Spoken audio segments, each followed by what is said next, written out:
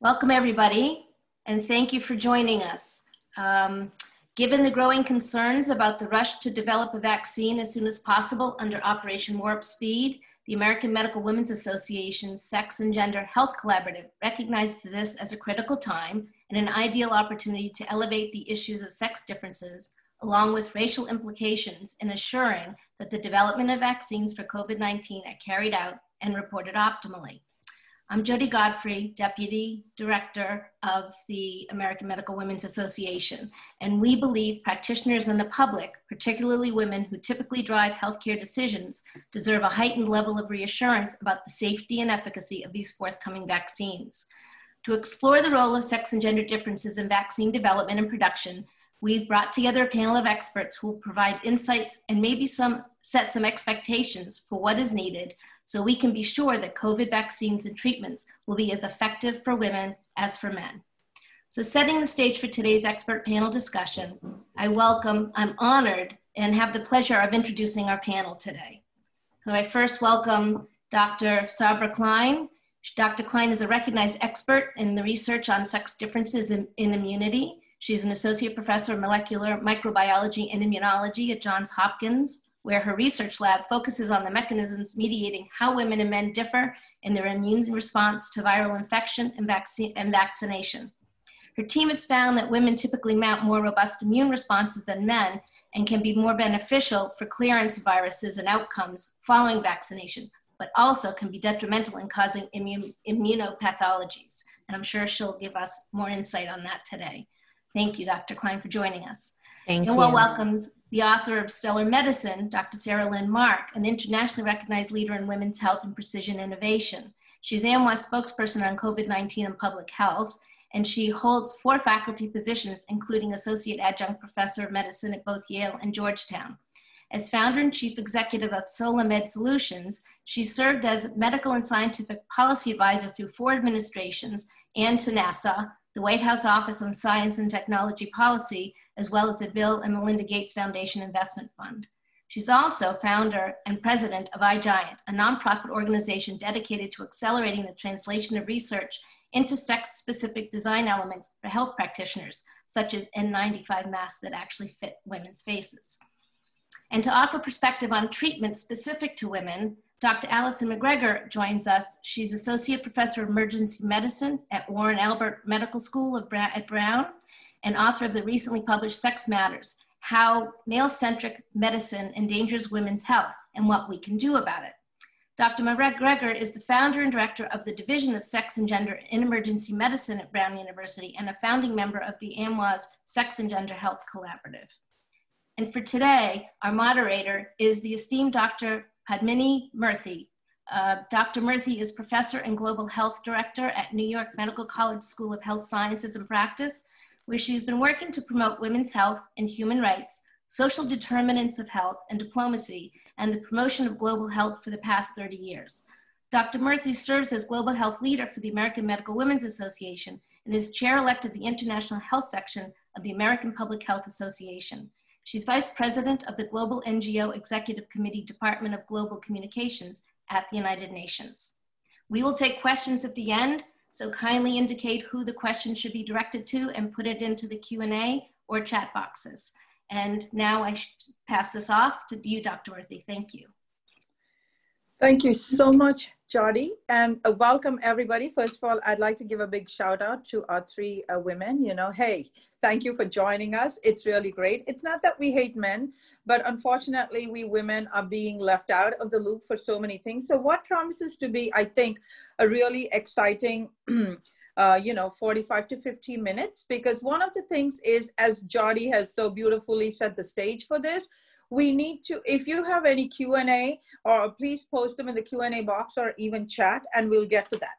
So let's get going ladies. Thank you so much. Appreciate your time. And thank you all of you for joining us. And you know this is what i want to say that uh, it, it's it's so strange that there, there is this rush this push to get the vaccine out. And we all know that COVID has affected men and women differently. So, in the quest for the holy grail, as I call it, the vaccine, will differences associated with sex and gender be included in any ongoing clinical trials to provide reassurance to us women and improve acceptance of these vaccines um, for COVID 19? So that is a big issue. So this is, you know, this is what I would like to start off by saying. And also, we need to know what is the what is going to be um, the impact of COVID nineteen. As we know, uh, there's a lot of issues which uh, Asian, Black, and Latino populations are facing. Mm-hmm. But what about the sex differences in women? So please don't think I'm going to talk the whole time, but I just wanted to set the stage for this. So, what we're going to mm-hmm. be discussing, and we're going to be looking at this from different um, views. So, that's why we have three experts with us giving us. Uh, you know their perspectives and again it's really an honor to do this uh, on behalf of AMWA and myself personally to have all these people so to get the ball rolling dr saralyn marks can you just uh, please tell the audience about a policy statement you, on gender and sex with regard to the COVID vaccine? Thank you so much. You are our media darling. So, you know, the, the floor is yours. So over to you, Sarah.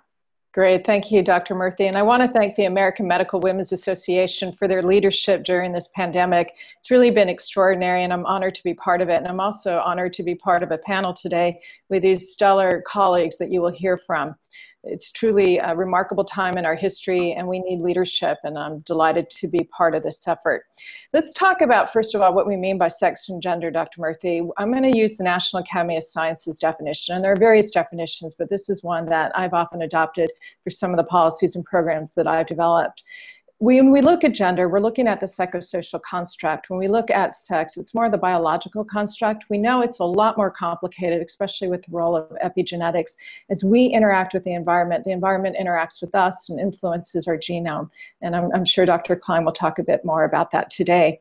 When we talk about policy, I think it's important just to have a historical perspective because you have to understand where we've been to know where we are today and where we need to go in the future often when we talked about women's health, it was really from what I would call a bikini medicine model, reproductive health, and maybe you could throw in breast tissue. Over many decades, we evolved into a more comprehensive, integrated perspective in women's health. I had the privilege to be the medical advisor for the Office of Women's Health at HHS, Health and Human Services, and we created national centers of excellence, of which Dr. McGregor was um, a leader at Brown. Um, and we really tried to take an interdisciplinary, multidisciplinary approach, realizing that we are a compendium of every part of our body. Every organ interacts with every organ. So I think we made significant strides, but as we've evolved into the world of sex and gender medicine, we realize we're moving more towards precision health and really trying to understand the differences between men and women. And, and I want to be clear here, I really think it's important to take a non binary approach. We often use the term man, woman, male, female, but really we need to be inclusive for everyone. We also need to look at the intersection of every human factor. As, as you mentioned, I work for NASA and we call those social determinants of health human factors. So we look at sex, gender, race, ethnicity, age, because all of that will play a significant role as we develop therapeutics and certainly as we develop a vaccine. I'm a geriatrician. And I know that my older patients often require a different dosage of medication of a vaccine compared to younger individuals. So I, I, hope as we move forward that we will talk about these human factors not as a means to discriminate or to determine who's better, faster, smarter, but just so that we can develop tailored medical care to meet the needs of everyone. Well, thank you so much, um, uh, Saralyn, um, for that. I mean, uh, to get the ball rolling. And I just wanted to add one thing before I ask uh, Dr. Deborah Klein um, to, uh, sorry, Sabra Klein to join us, that one of the things I find is this is in my work and I found that it's a human rights issue because a lot of times I think we are really sidelined because it's like, it doesn't matter. And, you know, just to add, uh, uh throw some uh, vinegar on the dressing to say that it's also gender stereotyping. I think that also goes into that. So um, now, Dr. Sabra Klein, thank you so much for joining us.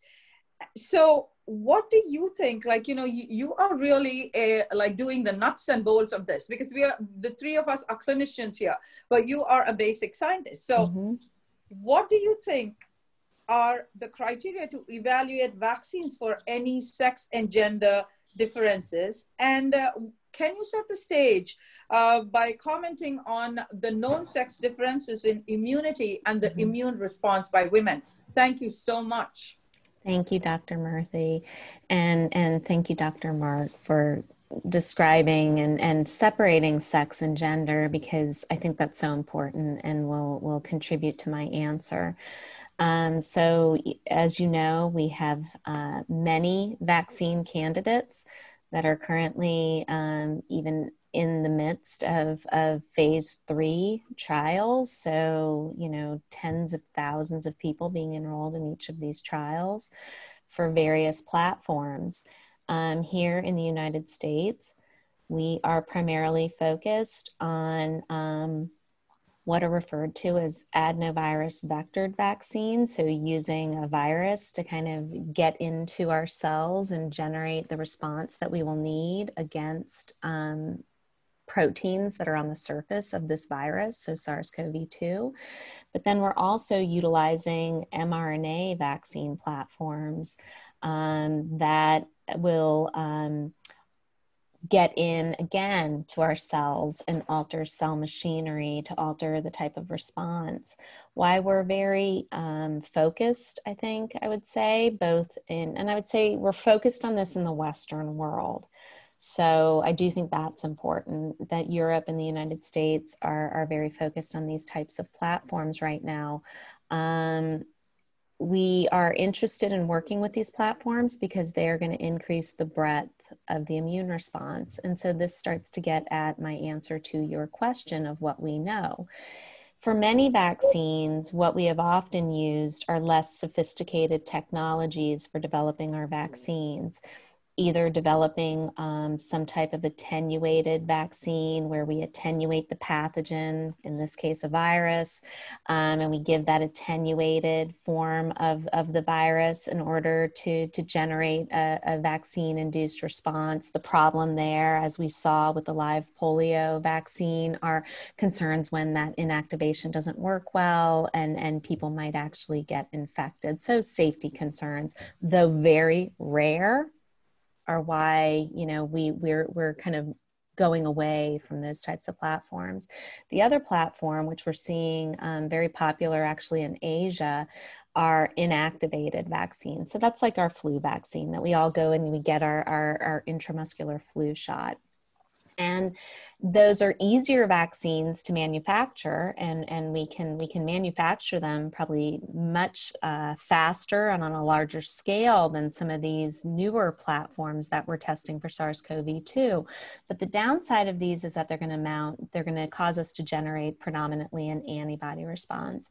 And my lab and others have consistently shown that when we utilize antibody as the primary correlate for protection against a virus it's women that consistently mount much greater immune responses than men.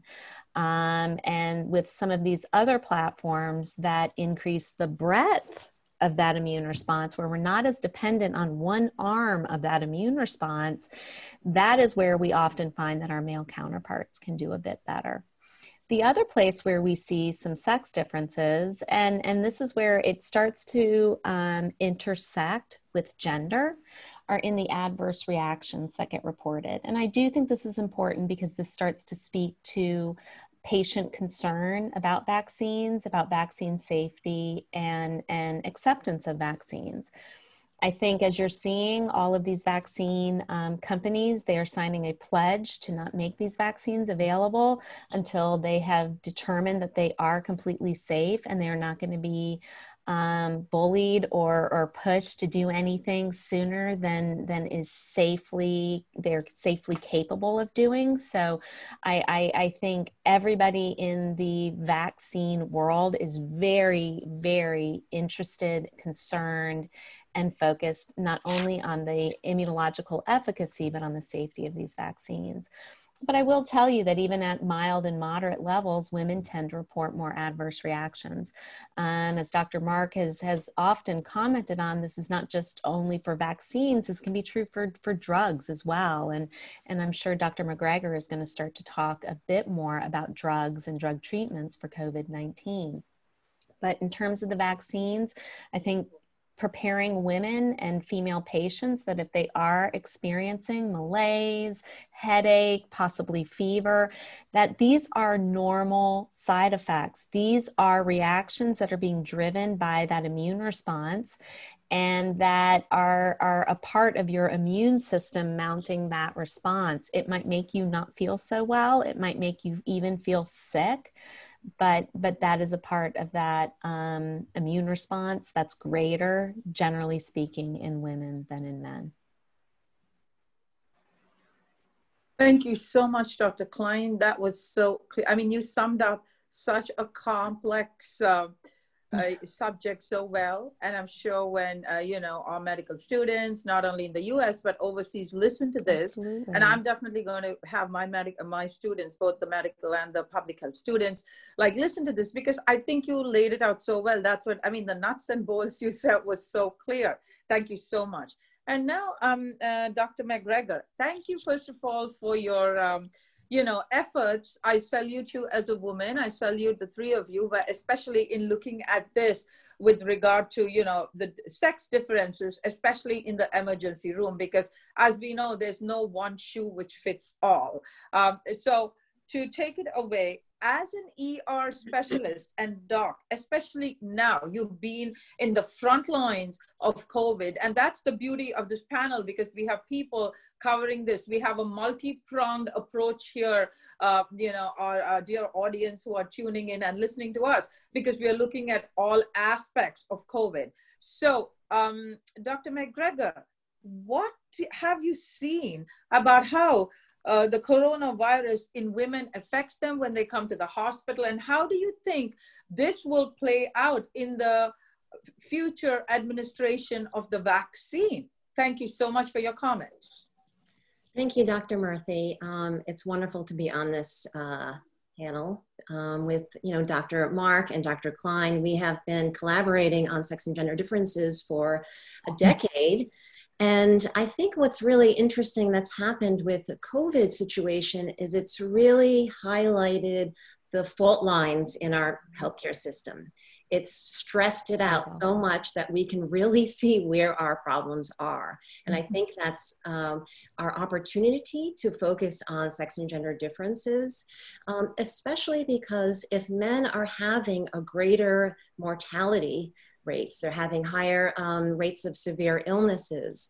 Um, what that's done is it's really declared sex and gender not just a woman's health issue. Um, and I think that that's really important for us to, um, to, to, showcase for both men and women and, and science in general. So, so that being said, in the emergency department, we are seeing uh, the same trends that we see for all other health conditions. So women present earlier, and uh, more often. Um, men socioculturally are um, encouraged to hide fear and hide illnesses, so they wait longer to seek care. So when they actually do come in, they do have more severe illnesses. And so if we just take that for a moment and then think about the data that we're collecting, we are collecting data on severe illnesses, hospitalizations, uh, ICU admissions, intubations, and those are mostly men. So if we think about what's happening to women, I'll, I'll tell you what's happening. They are coming in and they're having milder symptoms, and we ha- don't have the ability to test everyone. So, you know, our hospital is constantly um, dealing with whether or not we have enough tests. Um, and that depends on where their surges are in the United States and when the testing kits are going to the places where it's needed most. Um, and so what happens is if you are not severely ill, um, we are um, telling patients to go home and self-quarantine um, and giving them, you know, um, uh, you know, uh, advice of how to care for themselves, and uh, and and then that's it. So they may not even get testing, and so what we're also seeing, and what Dr. Klein alluded to, is that women have more of a robust immune system. So So what's happening is that if they have a more indolent condition and um, they are responding to this virus in their system, they are um, more, um, so the CDC has quoted one third of non-hospitalized patients are more likely to have um, uh, symptoms greater than two weeks. And so that's the cohort of, of mostly women. And so these are women that um, are going to present to their physicians complaining of um, post-viral neurologic conditions that we know are very common. We see it with chronic fatigue and Guillain-Barré, and we're going to see it with COVID. And so if these long haulers, they're called, are going to be mostly women, they're not going to have the positive testing that is going to um, prove that they were had this illness. They're going to come back to the emergency department, seek care, and then be told that, um, that this is in their head that, um, that they have a psychological reason for their physiological complaints and um, and this is just something that women uh, suffer from, uh, you know, a, a, lot. And this is my fear for women uh, once we um, get through kind of the severe part of the illness. And the other thing that we're seeing is that women are more susceptible to um, the, the, the stay at home um, uh, calls. Okay, so the rules of staying at home. Women have more responsibilities in the home. They are um, have responsibilities for their uh, children and the mental health of their children.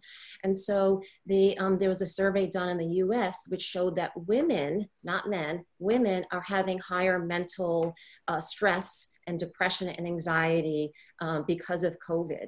And so what we are seeing are higher rates of interpartner violence. Um, they're getting more calls into the hotlines. We're getting more um, anxiety related uh, conditions. And so that is something that we're also um, dealing with as well. Thank you so much um, for explaining that and telling us what your experiences are and what you've seen. And just to add on uh, to what you said is that with regard to interpersonal violence, there is a, a report released by the United Nations um, uh, Population Fund. Uh, you know, I, I was, uh, I did some work with them a couple of years ago and also with UN Women that for every three months of the COVID extending, the number of women suffering from IPV is going to increase by like this like a couple of hundreds of thousands. And the other thing is a lack of access to contraception. It's not that we are deviating from the topic, but just because you mentioned that, Dr. McGregor, and I wanted to say that, and you know um, and uh, the other thing is this is terrible. In argentina there was a college professor who was only 46 and yesterday she just collapsed while doing a zoom session in front of her students because of covid. And she and uh, she might have got it from her husband who's a physician. So when you said that women in the US come earlier to seek uh, treatment, I have found talking to other colleagues overseas and in my own work and research that women are at the bottom of the totem pole in so many areas in the world.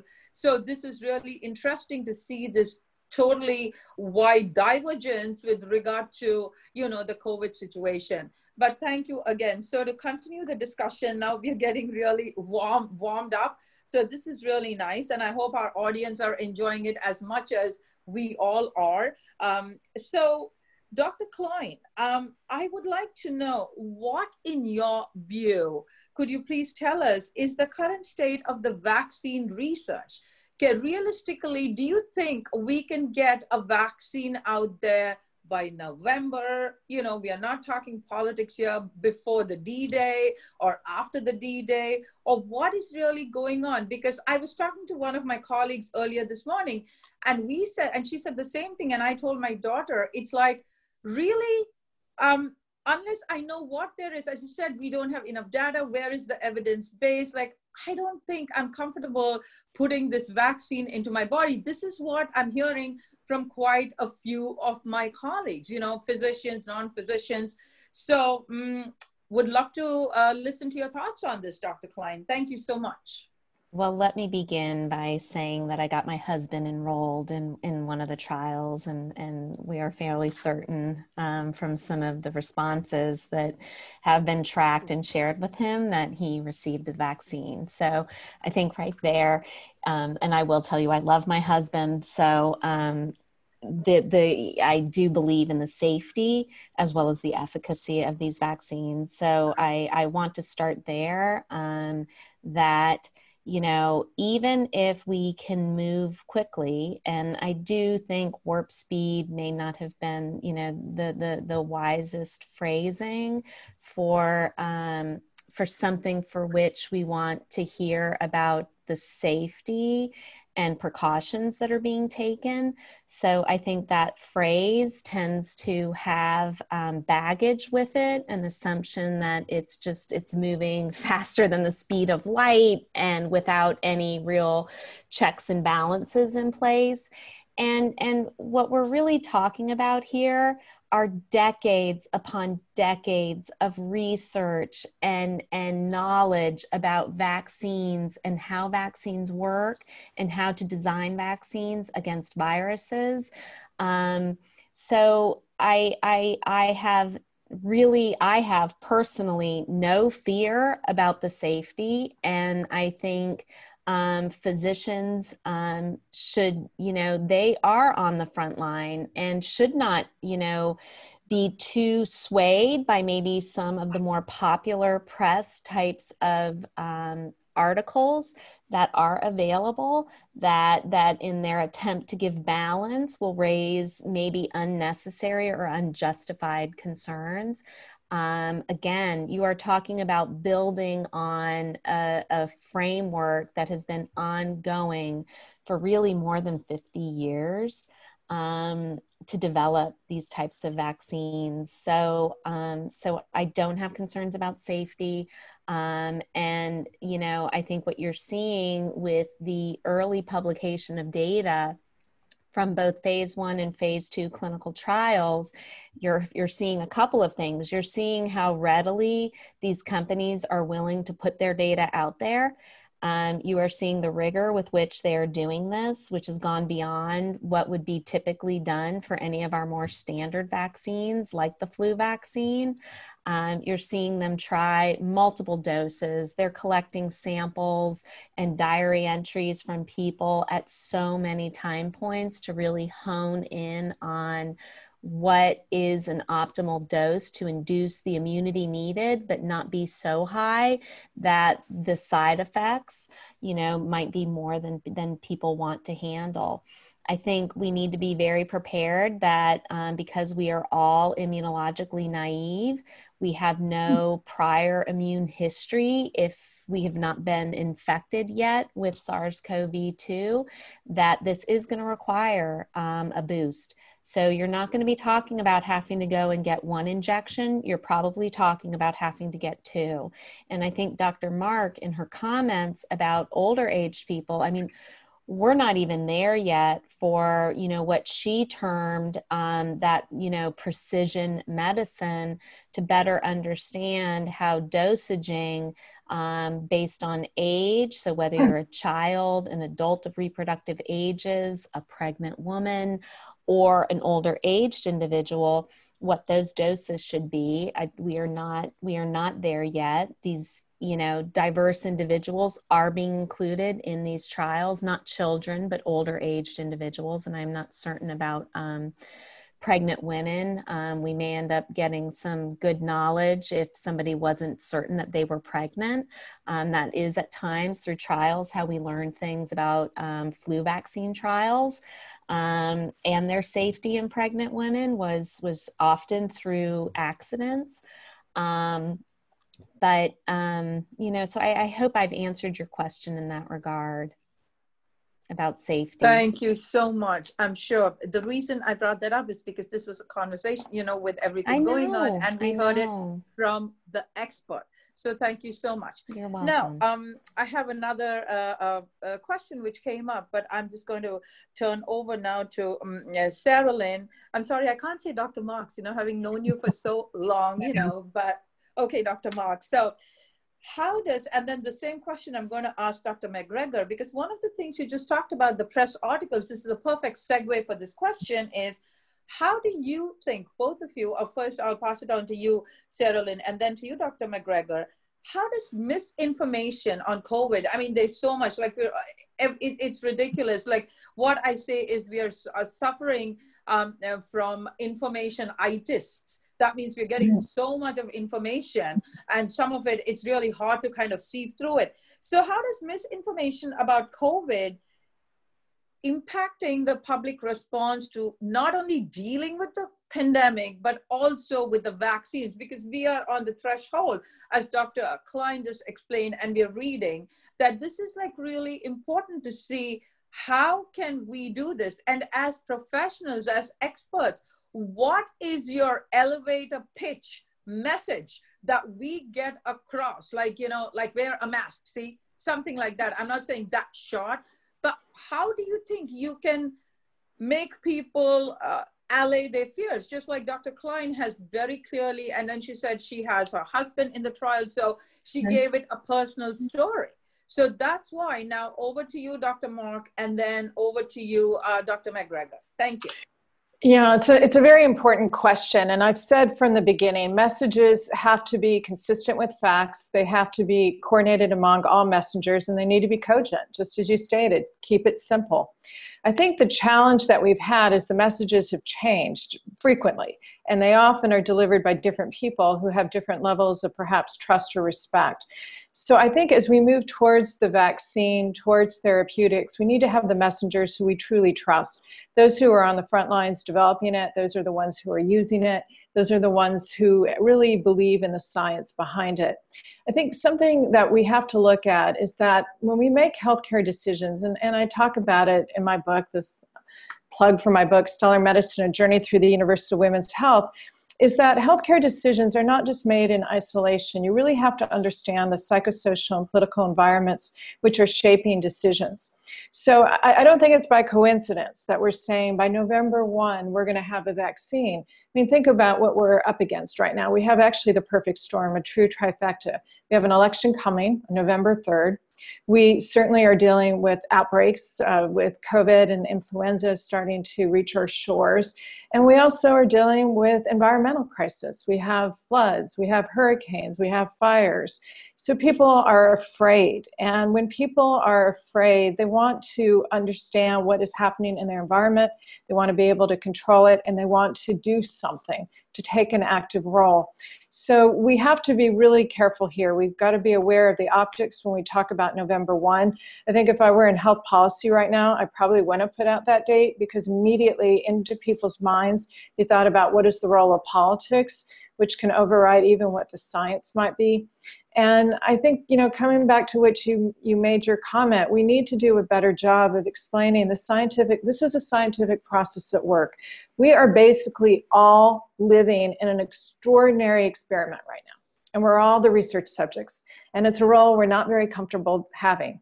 And we need to have messages being delivered by people that we trust. And you know, I hope as we talk a little later, we'll we'll show that the role that women play. I mean, two thirds of every healthcare dollar are spent by women for their families and for themselves. And certainly, as we mentioned, as women are unemployed, they may lose their health insurance.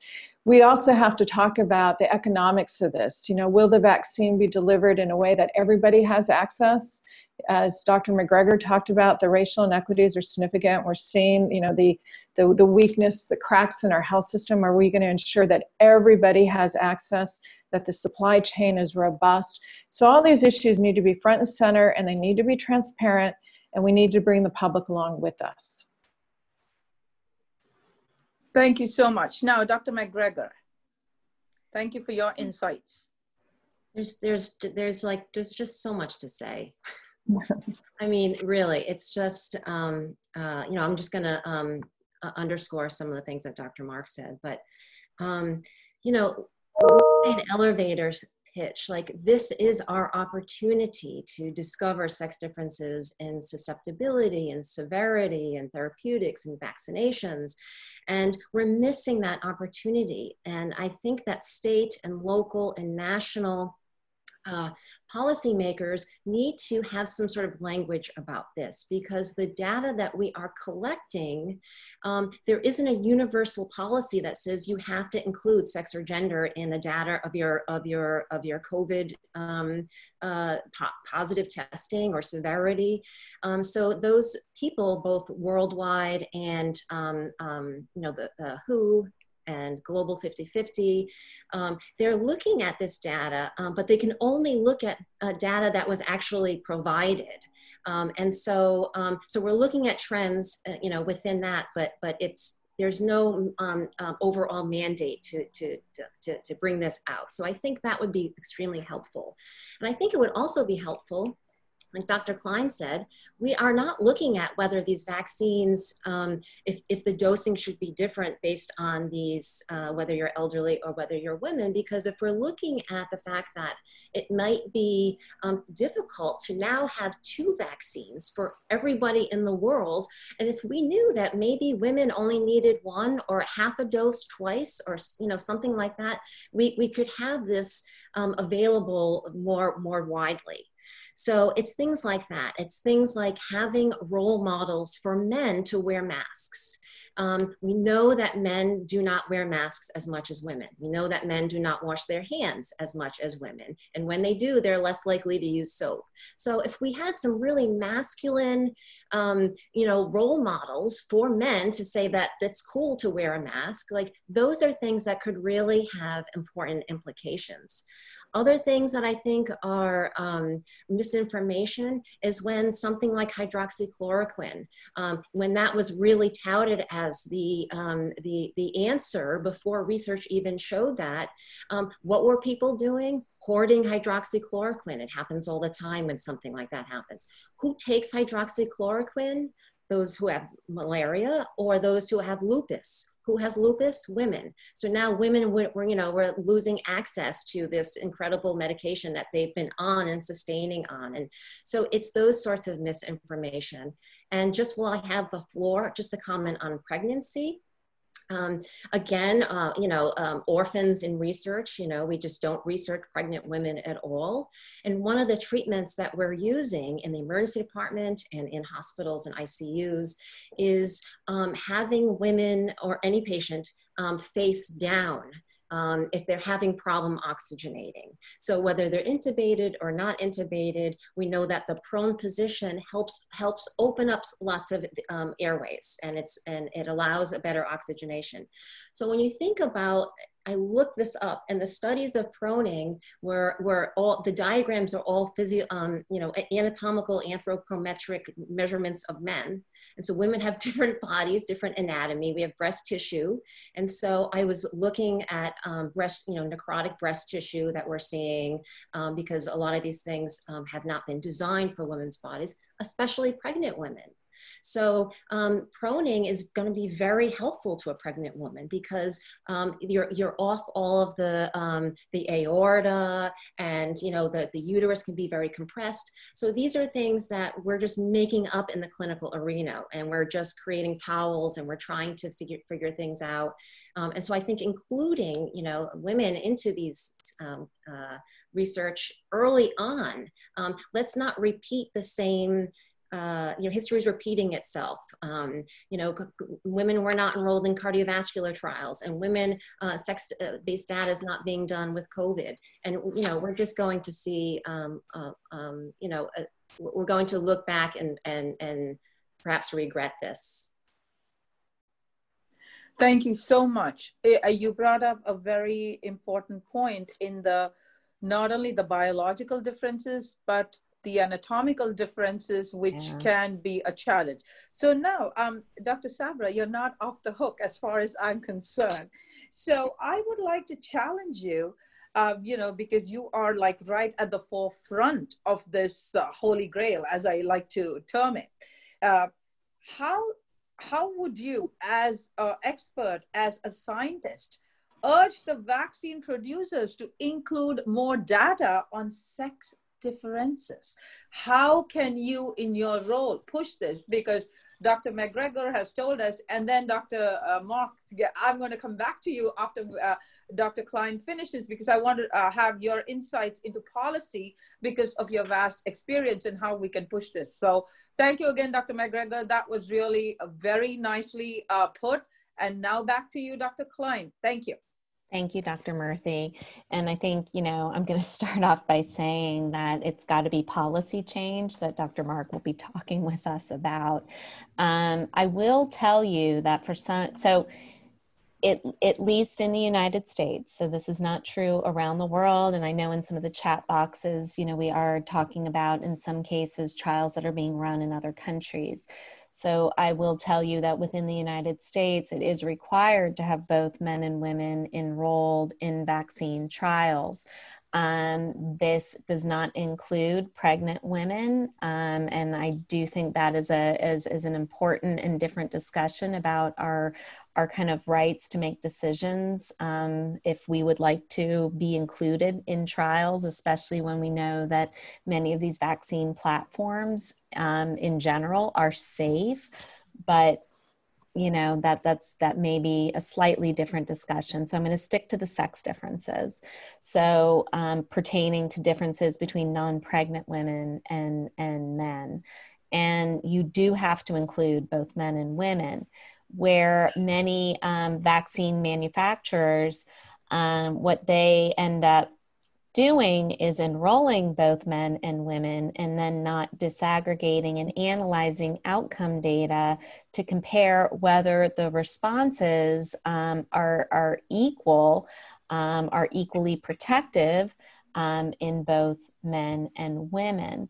I will tell you, I have been pleasantly surprised. There are some uh, that have published their phase two trials, and in the supplementary data were exploratory analyses um, comparing males and females. And, and early analyses really are reporting that women are mounting greater immune responses, at least in that 18 to 55 year age range, um, and are also reporting more adverse reactions, though, again, these are mild to moderate adverse reactions like headache, malaise, so that generic just not feeling well. Um, you know, so I think I think where policy and, and where I'll drop this off so that Dr. Mark can comment comes into play is there are no requirements about disaggregating and analyzing data to compare males and females and so all too often the um, the comments that get made are that studies including phase two clinical trials are not well powered enough to disaggregate and do analyses that a study was not designed to do. So I'm going to leave it there. Thank you so much for telling us that and also for sharing the information about uh, how um, you know the data is being reported in males and females from some countries, the prelim preliminary data.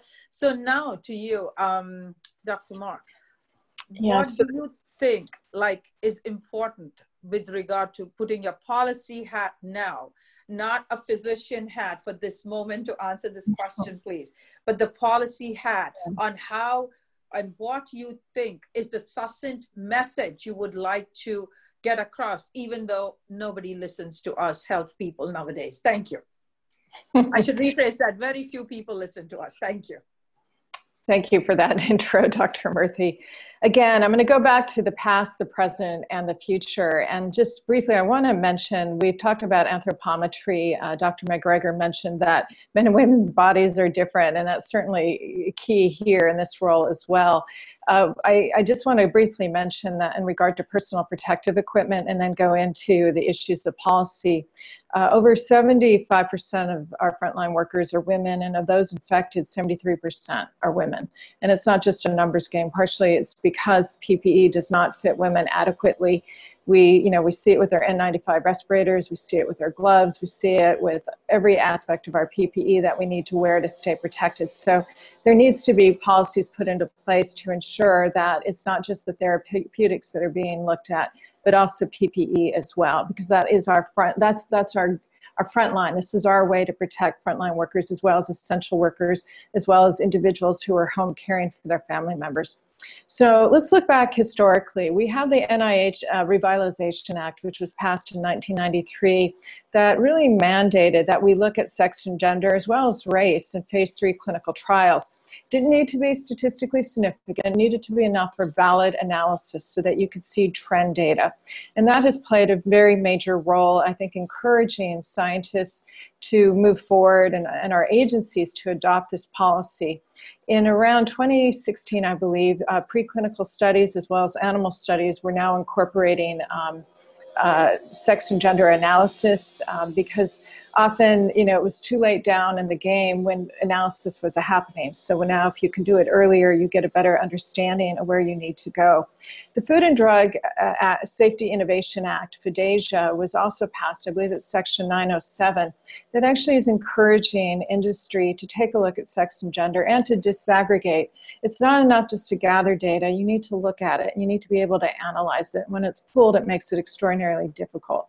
I know, for example, at NASA, a lot of our sex gender data had been initially pulled, and then making the effort after following NIH guidelines, we really were able to learn a great deal more it's important that our companies really do this. You know, often there's pushback that there's not enough time, that takes too much effort, that it's too expensive. And the answers to this is no. We're, we're dealing with life threatening issues here. And as we mentioned earlier, if we find, for example, that women mount really robust responses, perhaps half the dosage or less dosage, which would make more of a vaccine available, as well as with other therapeutics. So I think going forward, we need to ensure that these policies are enforced. It's not enough just to have a policy, you have to enforce it. So there has to be oversight. And then furthermore, we have to have our journal editors mandate that the data be described this way. It's not enough just to list a population. You need to really take the deeper dive and to understand male and female sex differences and gender differences so that you can apply policies as well as programs as well as products and protocols appropriately. Thank you so much. So what the three of you did, you gave us a three-dimensional puzzle, uh, you know, which really, and uh, not with pieces thrown away, but very neatly fitted together uh, so that people know what's going on, especially, um, you know, looking at it from not only the policy view, as you said, Sarah, but also uh, uh, looking at the other differences, what we need to be aware of, Dr. McGregor, and you, Dr. Klein, when you talked about, you know, what the studies are and the challenges we are facing in the US. Now, um, I'm just going to tell you to please get ready for your closing statements. And I'm just going to ask you to think about what you would incorporate in your closing statements while I take a, a look at uh, our chat and the Q&A to take some questions. So this is for uh, the three of you uh, ladies. Can you suggest what are in your closing statement, what are some of the pros and cons for people to consider? Uh, and also, who would be the first to get the vaccine? So are we going to look at you know like who is going to get it? Who has the priority? I think this is a million dollar question which is burning in everybody's mind. You didn't think i would let you get off so lightly. It's not that often i get to moderate and uh, you know a question and quiz three experts of your caliber. So, and I'm sure people would really look forward to listening to this because it's a lot on people's mind. So that being said, I'm just going to shift gears to look at some of our Q&A. And um, okay, this question is, uh, what I have is, thank you for the stellar panel. Allow me to direct this question specifically to uh, Professor Klein. Thank you for your brilliant elaboration on the immunologic aspects of vaccine. Are there any efforts looking at the combination and interactions of influenza and COVID, and how could that potentiate the sex difference in side effects and our e efficacy? Thank you. Absolutely. So there is a very good chance that many of us, you know, will be getting both the flu vaccine and the um, and the SARS-CoV-2 vaccine this year. Um, flu vaccines are already available. So my recommendation to all the panelists and to the patients that you may be seeing is encourage everyone to get the va- the flu vaccine early and i think it's you know i think it's important every year but i think it's especially important this year because some of the symptoms that dr mcgregor has described can be consistent with um, with influenza. And so the confusion about whether you're presenting with flu or you actually have covid-19 i think is going to become very important because i think it feeds into a comment that you made um, previously you know who who's going to be getting the the covid-19 vaccine first and you know i anticipate though i don't know that it's going to be our frontline healthcare workers 70% of whom are are women um, and um, I also think that elderly um, individuals may as well. And you're getting to listen to my dog roll around on the floor. So I'm going to mute myself. Thank you so much. Thank you so much, Dr. Klein. And going on to our next question, which is uh, to all participants, and it was posted in our uh, chat box. So this question is like, is it likely that women with autoimmune disorders will have a different response or a greater response to the vaccine? Dr. McGregor, Dr. Mark. That's a terrific question. Um, I'm not sure that I that we know the answer to that. Um, and I, I'm not sure I would, I, I, I don't know. I'm thinking that I'm not sure what the data is if women have mounted a greater response to the influenza vaccine. I don't know, Dr. Klein, so, you Absolutely. So, to date, we don't have data to suggest that women with autoimmune diseases mount mm-hmm. greater responses to um, an external stimulus like a vaccine. And there are um, a lot of data to date for flu vaccine, as Dr. McGregor pointed out. I think another thing to keep in mind, though, is that many of us, myself included, who suffer from autoimmune diseases are often immunosuppressed. Mm-hmm. So, uh, you know, and sometimes these can be broad immunosuppressants um, that that can definitely, you know, actually even result in the opposite. You know, a slightly lowered uh, response to a stimulus like a vaccine. Thank you, Dr. Mark. Yeah, so I, I, concur with all these comments as well. And I think what we have to look at, um, and this is something that I'll even throw back to Dr. Klein too, is that as people become reinfected, uh, what will their response be to the vaccine? What is the role of T cell immunity, which was alluded to? And another area is antibody dependent enhancement. You know, how, how important is it that we develop the right type of antibodies, such as neutralizing antibodies, the appropriate titer of antibody? Um, how will that play a role if we have to have uh, revaccination? So I think there's a lot of um, open, open questions here. Dr. Klein, what are your thoughts about ADE, antibody dependent enhancement, especially with issues issues with people potentially being reinfected with the virus? Absolutely.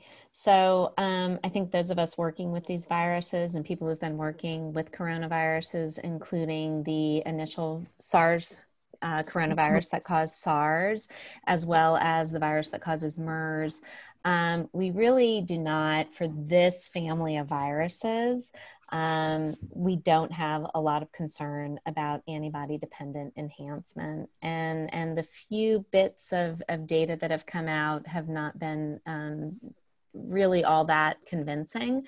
I'll also point out that the use of convalescent plasma Mm-hmm. Um, you know, while obviously has been politicized and is being debated, I will say that um, there is some evidence that it really is protecting, and there's been zero evidence of antibody dependent enhancement um, in patients who have received convalescent plasma. Um, but I also appreciated your comment about T cell and T cell immunity, and I really want to emphasize that, you know, these novel vaccine platforms, meaning novel meaning just not your standard inactivated mm-hmm. vaccine that only induces antibody, they are going to induce T cell responses. And recent data from infected uh, patients, actually coming out of Yale, showed that women tended to have um, greater T cell uh, mediated immune responses, which again, you know, may suggest mm-hmm. and, and play a role in that greater protection that Dr. McGregor was describing to us, including in the emergency room. Thank you. I have one last question here, which says that this is from somebody who's doing a study in Peru as a part of PhD and is investigating and comparing the role of behavior and immunity in women for COVID. And she says, men here said, if you discover something, we'll take care of that. What is the importance of that? That's a question. Could you repeat the question again, Dr. Sure, sure. Uh, this is from uh, a PhD student from Peru who said her research is investigating and comparing the role of behavior and immunity in women for COVID. And according to her, but men here said, this is in direct quotes, if you discover something will something, will someone take care of that? What is the importance of that? I mean, uh, it's not clear. So I guess what she's trying to say, what uh, correct me if I'm wrong, is to find out if um, this um, person is written is in the. I'm going to just interrupt momentarily. They've written this is not a question; it's just an experience that they had pertaining oh, to probably sexism in the. Okay. So so maybe. Hmm. Saralyn, maybe, you know, just, you know, Thanks. this notion about can, yeah. women are more often to be the ones studying sex and gender based differences yeah. than our men. Yeah. Yeah, so you know it's it's really interesting. Often, and I think for all of us here, when we've gone to lectures and topics on women's health or even sex gender based healthcare, we often find we're in a room of people who look exactly like us, and it tends to be women. And what's interesting is that we know our male counterparts are taking part or are taking care of, of female patients. So everyone really needs to understand what the issues are. And, and it comes back to again it's not it doesn't need to be a competition about you know who's faster better smarter or who's going to cope better. It's really being able to have all hands on deck so that everybody can take care of patients appropriately that individuals can take care of themselves appropriately and not to have this push pull because uh, every one of us on this planet is going to be impacted by covid one way or another. And so we need to understand these sex gender differences not to discriminate so that we can best take care of each other and ourselves. Thank you. Um, I think, yeah, that comment was maybe to some something else somebody posted, but thank you so much. So each of you has one minute for your closing, and then I turn it over to Jody. So thank you so much. It was really an honor uh, moderating this uh, panel, and thank you for sharing your experience and expertise. Dr. Uh, McGregor, your one minute starts now. Thank you. thank you so much um, for having me on this panel. I think it's so important. The more we have these discussions, the more we can uh, make a difference. And to something that Sarah Mark said, um, you know, diversity is key. So we know that when women are part of the research groups, they're more likely to look at gender specific analysis. We know when women are part of uh, physicians and leadership, they're more likely to care for women patients better. So, so um, I think, you know, one of the things that I focused on for with my book, Sex Matters, is that we all have a role here. And since this is AMWA, most of us are either scientists or physicians. And so it's been said already, if you are peer reviewing something, make sure that it's included sex and gender. If you are the editor, please make sure that it's, a, if you're the researcher, if you are sitting on an IRB um, um, uh, board uh, reviewing studies, if you're into education of healthcare providers or scientists, make sure that this is part of the agenda. And if you're caring for patients, make sure that that this is thought of. In my last, so Jody wanted me to make sure I held up my book, and I'm also holding up Saralyn Marks because I have both. So in case you're wondering, thank you. Thank you so much. Dr. Klein. So, you know, I, I, echo everything that, that Dr. McGregor said. I think that was all very well said. I think the one thing that COVID 19 has done is has put sex and gender, gender squarely at the forefront and cannot be ignored anymore. And we can't ignore it in understanding the pathogenesis of infectious diseases and understanding treatments for infectious diseases. And that includes vaccines and the fact that we are starting to see phase two trials broken down to compare males and females tells me um, that this is the case. We really didn't get into some of the racial and ethnic um, diversity um, and immunologically speaking I don't think, you know, our immune systems are different. What can be different are the likelihood of having certain comorbidities, um, things like obesity that we know can actually negatively impact our, our immune systems. So I think lifestyle and, and, and gender associated factors come into play a bit more there. So I think, regardless of your race, ethnicity, your sex, your gender, your age, the vaccines that are being tested are safe. And once they are made available to us, there should not be concerns about taking them. Thank you so much. Dr. Mark? Thank you. Well, I just also want to say it's been an honor to be on this panel with my esteemed colleagues, and I've learned a great deal, and I hope our audience has as well. I would say that we are in this together. We know divided we fall, united we stand.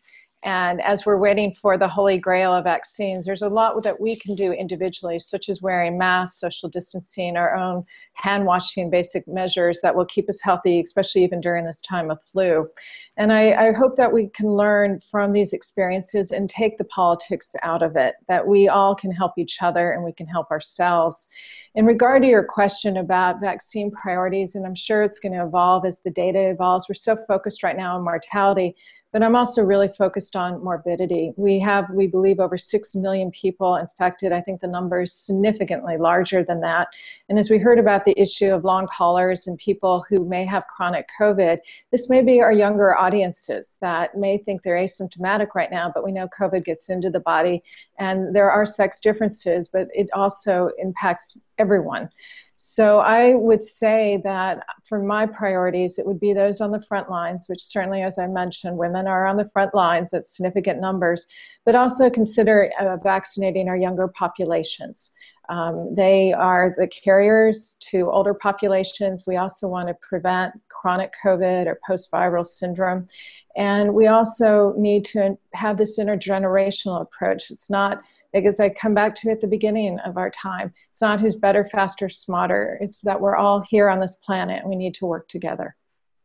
Thank you. Now I turn it over to you, uh, Jody, for your closing comments. Thank you so much.